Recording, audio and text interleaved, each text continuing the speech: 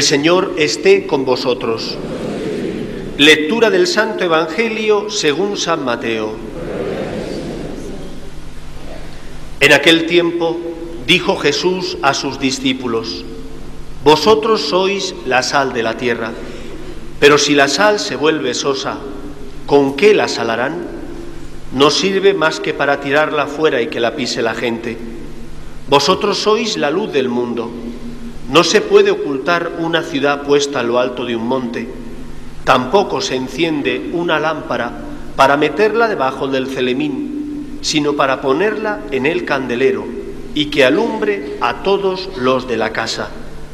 Alumbre así vuestra luz a los hombres, para que vean vuestras buenas obras y den gloria a vuestro Padre que está en el cielo. Palabra del Señor.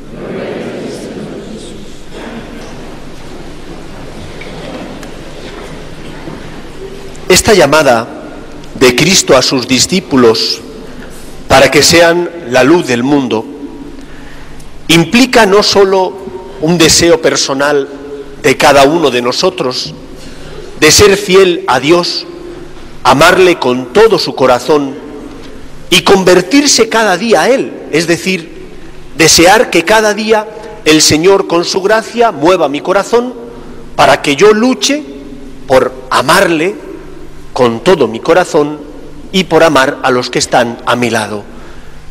Eso normalmente es parte del acontecimiento que se produce. Creo que todos los cristianos, que somos conscientes de nuestra miseria y de nuestro pecado, que sabemos que no somos perfectos, deseamos amar a Dios y porque creemos en Él, intentamos ser fieles a nuestra conciencia. Pero eso es solo parte del acontecimiento. Hay una segunda parte y es la consecuencia de desear ser fiel al Señor, de ser luz en el mundo. Y la consecuencia es que al final aquel que desea ser fiel al Señor tiene que recorrer un camino. El camino del amor te lleva, te guste o no, a tener que subir a la cruz. De igual manera que Cristo subió a la cruz por ser fiel a la verdad de que Dios ama a los hombres, por ser fiel y consolar a los que sufrían, por eso se enfrentó, por ejemplo, con los fariseos y con los sumos sacerdotes, porque aquellos no tenían misericordia y trataban a los demás sin esa ternura que Dios quiere que tengamos en el corazón. Queridos amigos, ¿estáis dispuestos a pasar por ese camino y a pagar el precio que tenéis que pagar? Esta semana, misteriosamente, un organismo de la ONU, la comisión que está encargada de defender los derechos del niño, con la sede en Ginebra, ha hecho público un informe, un informe condenatorio, no era solamente un informe, donde se acusa a la Iglesia de haber echado la vista a otro lado con motivo de los muchos casos de pederastia que han ocurrido en nuestra Iglesia. El informe en sí viene a hablar de un hecho reconocido por la propia institución eclesial el Papa Benedicto XVI, en no menos de cinco o seis ocasiones, se reunió con las víctimas de los abusos por parte de sacerdotes, religiosos o religiosas, reconociendo la culpa de la Iglesia, no sólo porque esos sacerdotes religiosos o religiosas habían cometido ese pecado, sino también porque la Iglesia jerárquica no había sabido atajar ese problema. Nadie dice, por ejemplo, que el Papa Benedicto XVI secularizó, expulsó a más de 400 sacerdotes y quitó a más de 85 obispos porque entendía que no se habían comportado debidamente. ¿Por qué razón sale ahora este informe?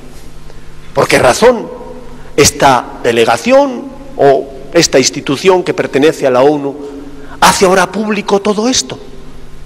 Todo tiene su sentido. El padre Santiago Martín, que tiene muchos dones y entre ellos tiene el don de la clarividencia al analizar ciertos acontecimientos históricos, sostiene que están pasando factura a la Iglesia porque la Iglesia no se calla. Sostiene, por ejemplo, que el Papa Francisco paró la guerra contra Siria, no porque el Papa estuviera a favor del dictador de Al-Assad, no, sino porque en el fondo la guerra contra Siria no tenía la motivación de engendrar paz, sino que había detrás una motivación de intentar vender armas, de hacer una guerra para sacar dinero. Y paró los pies a Estados Unidos, a Obama. Y ahora esa gran potencia está pasando factura. Y este dictamen de esta institución que pertenece a la ONU es fruto de aquellos polvos. Están pasando factura. Pero no solo eso, están pasando factura porque nos estamos negando a aceptar que nos cambien un orden mundial donde, por ejemplo, en ese informe se dice que la Iglesia tiene que dejar de predicar que el matrimonio es la unión natural del hombre y de la mujer. Se dice en ese informe que la Iglesia tiene que dejar de predicar su moral sexual contra la experimentación en embriones o contra los métodos de control de la natalidad que propicia la ONU. Ese informe realmente lo único que quiere es destacar que la Iglesia no se comportó como debía y que tiene pecado o tiene otro interés. Tiene otro interés. La Iglesia es incómoda y es incómoda porque defiende la vida. Y es incómoda porque defiende la dignidad de la persona desde su inicio, que es la concepción, hasta la muerte natural. Es incómoda. Y como es incómoda y no se pliega a los deseos de los que mandan, hay que intentar llenarla de basura para que se calle. Lo primero que tenemos que decir es, tenemos que pedir perdón, sí. Es una vergüenza aunque solo hubiera sido un sacerdote o un religioso, es una vergüenza que pueda existir un pecado de pederastia en la iglesia, o fuera de ella, pero en la iglesia, es una vergüenza. Tenemos que luchar contra el pecado, tenemos que luchar contra los corruptos, como el Papa Francisco ha dicho en tantas ocasiones. Pero no es cierto que la iglesia no haya hecho nada, al contrario, es el Papa Benedicto el que destapó todo este asunto. Ha tenido la gallardía, el valor, los arrestos de reunirse con las personas, con un grupo de personas afectadas por este asunto, mirarles a la cara, llorar con ellos. Eso no es esconder la situación, no es mirar a otro lado. Ha destituido a 400 sacerdotes, a más de 85 obispos. Eso es mirar hacia otro lado. Por otra parte, gracias a Dios, el porcentaje de estos señores, por llamarles de alguna manera, que cometieron estos crímenes es bajísimo en la iglesia. Yo me eduqué en un seminario menor. Con mis 11 años, mis padres permitieron que me fuera al seminario, educado por formadores sacerdotes. Y yo os aseguro que en mi seminario, donde había más de ciento y pico personas, esto no ocurría. Esto no ocurría. Yo soy sacerdote, gracias a Dios. Pero siempre lo digo, si volvieran a hacer y Dios me dijera, ¿dónde quieres ser educado? Diría que me lleven al seminario, porque me trataron con cariño y con amor, porque me enseñaron a ser un hombre, porque me enseñaron a distinguir el bien del mal, lejos de ser para mí algo oneroso o gravoso, haber sido educado en este ambiente me hace ser lo que soy ahora, en parte. ¿Y cuántos de ustedes tienen esa misma experiencia? La mayor parte de nuestros jóvenes han estudiado en colegios religiosos y bueno, a lo mejor el clérigo o el sacerdote o la monja te ha pegado un capón. ¿A quién no? Y no por eso estamos traumatizados, sino que al contrario, nos enseñaron a distinguir lo bueno de lo malo, nos enseñaron a ser personas de bien, nos enseñaron a respetar a los demás. Y eso es algo que nuestra sociedad tiene que agradecer. Hemos pedido perdón. La Iglesia ha iniciado un proceso para depurar responsabilidades. No es verdad que haya mirado a otro lado. Quizás hubo algunos obispos que sí que miraron a otro lado. Están destituidos. Quizás hubo muchos sacerdotes, demasiados, que cometieron ese crimen. Están secularizados. Y si se descubren nuevos, se les apartarán para que no puedan hacer ese daño tan horrendo y serán alejados de su ministerio. La Iglesia no es verdad que mire a otro lado. Se ha equivocado porque está formada por hombres y los hombres tenemos debilidades, cometemos pecados, a pesar de que deberíamos luchar contra nuestras tentaciones. El padre José Luis Martín Descalzo, cuando hablaba de la iglesia, decía que la iglesia es una madre y que como madre quiere a todos sus hijos y que en esta iglesia cabemos todos y no solo los perfectos, los santos o aquellos que no han cometido pecado, porque si no cupiéramos todos, si solo fuera iglesia santa, si solo fuera iglesia de justos, tú y yo tendríamos espacio en ella. Es iglesia santa porque está constituida por Cristo, por el amor de Dios. Pero es iglesia de pecadores porque nosotros estamos convocados a estar en ella para ser purificados por el amor de Dios y crecer en santidad. Hemos pedido perdón, reconocemos nuestros errores, pero no es verdad que no se haya hecho nada en contra de este crimen tan horrendo. Más se tiene que hacer, sí, el Papa Francisco ha cogido el testigo del Papa Benedicto XVI para lograr una purificación mayor de la Iglesia, para intentar que la Iglesia esté compuesta de hijos pecadores que quieren cambiar, pero no de hijos corruptos. Digámoslo, porque es así, y no nos dejemos engañar por estas informaciones falsas, por este informe, por ejemplo, que hace pues afirmaciones gratuitas, fuera de lugar y sin ningún tipo de apoyatura. La Iglesia quiere ser luz, siendo fiel a Cristo.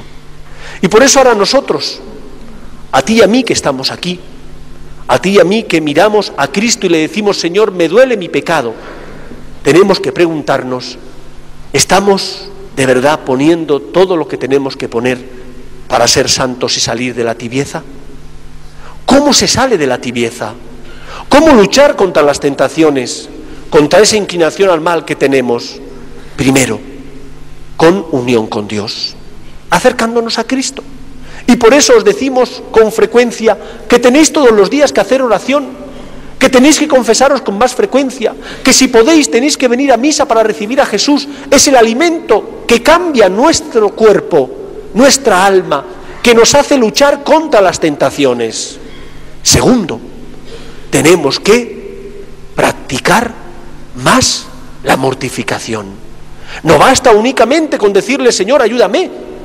Tú te mortificas.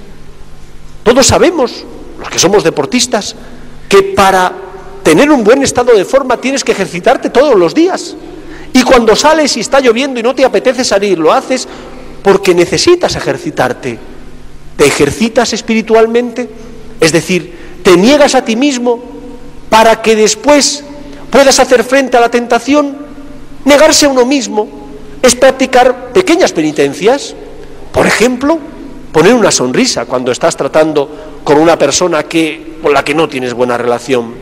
O por ejemplo, tener ojos de misericordia para perdonar al que te ha hecho daño. Eso es tener penitencia. Eso es ejercitarte en la virtud de negarte a ti mismo para crear músculo espiritual y cuando venga la tentación, hacer frente a la misma.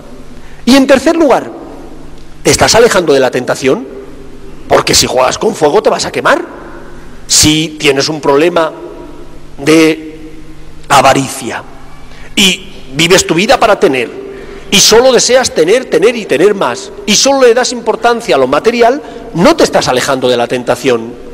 Si tienes un problema de gula, y no hacen más que comer y compras un montón de cosas, demasiadas, y las tienes en la nevera y picas entre horas, evidentemente caerás en la gula. Lucha contra la tentación, evitando la tentación.